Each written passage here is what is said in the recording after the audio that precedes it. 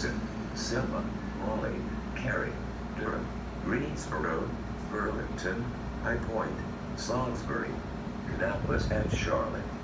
Please watch the gap when boarding the train. Business class is the last car of the train.